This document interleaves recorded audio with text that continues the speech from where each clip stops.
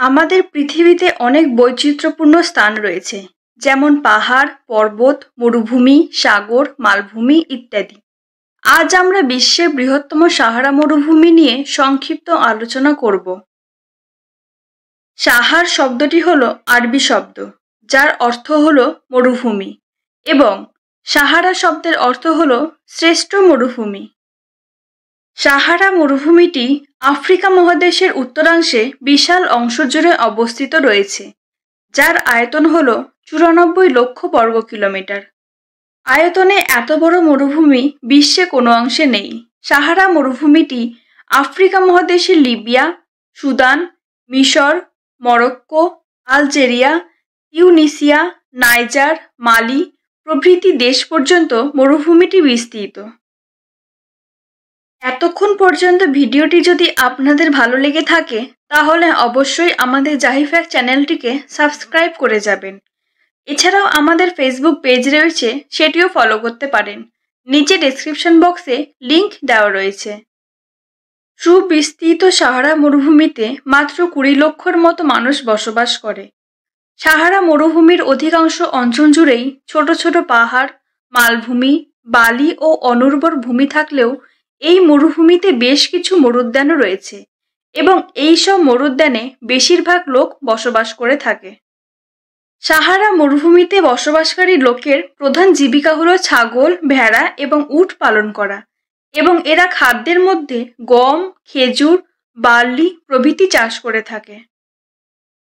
সাহারায় যেমন মানুষ খুব কম, তেমনি অন্যান্য প্রাণীও খুব বেশি দেখা যায় না। এখানকার প্রাণীদের মধ্যে আছে উট সাপ, গিরগিটি, শিয়াল উট পাখি গাজলা হরিণ, ছাগল প্রভৃতি। সাহারা মরুভূমি মূলত পাথুরে মালভূমি প্রকৃতির। ঢেউ খেলানো মরুবালি দ্বারা আবৃত এই মরুভূমির কোথাও কোথাও আবার সুউচ্চ বালিয়ারি দেখা যায়। এদের বেশিরভাগের উচ্চতা একশো আশি মিটারের বেশি হয়ে থাকে। এর বুক জুড়ে রয়েছে প্রায় সমতল দীর্ঘ বালুকাময় প্রান্তর। এই প্রান্তরকে অনেক সময় বালির সাগর বলা হয়। সাহারা মরু অঞ্চলের অধিকাংশ অংশ হল অনুর্বর। তাই এই অঞ্চলে তেমন গাছপালা দেখা যায় না। তবে স্বল্প পরিমাণে তৃণভূমি, ঝোপঝাড় এবং কিছু গাছপালা দেখা যায়। সাহারা মরুভূমির আবহাওয়া দিনের বেলায় মাত্রাতিরিক্ত উষ্ণ ও শুকনো, রাতের বেলা ঠান্ডা পড়ে, এমনকি কখনো কখনো পাহাড়ের চূড়ায় বরফও জমে। আবার কখনো কখনো ভয়ঙ্কর ধূলিঝড় হয়। শীত ও গ্রীষ্ম ঋতুতে তাপমাত্রা দশ থেকে তেতাল্লিশ ডিগ্রি সেন্টিগ্রেড পর্যন্ত ওঠানামা করে। এখানে বার্ষিক গড় বৃষ্টিপাত প্রায় কুড়ি সেন্টিমিটারের মতো হয়ে থাকে। মরুভূমি হলেও সাহারায় বহু ধরনের মূল্যবান খনিজ পদার্থ রয়েছে।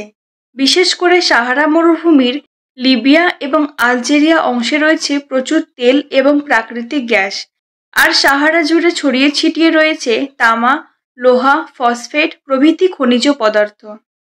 এই ছিল আজকে আমাদের জাহিফ্যাক চ্যানেলে সাহারা মরুভূমি নিয়ে সংক্ষিপ্ত রূপে আলোচনা। ভিডিওটি ভালো লাগলে লাইক এবং শেয়ার করে যাবেন। যাওয়ার আগে একটি প্রশ্ন করে যাই। উত্তরটি জানলে কমেন্ট বক্সে কমেন্ট করবেন। বাংলাদেশের বৃহত্তম শহরের নাম কি?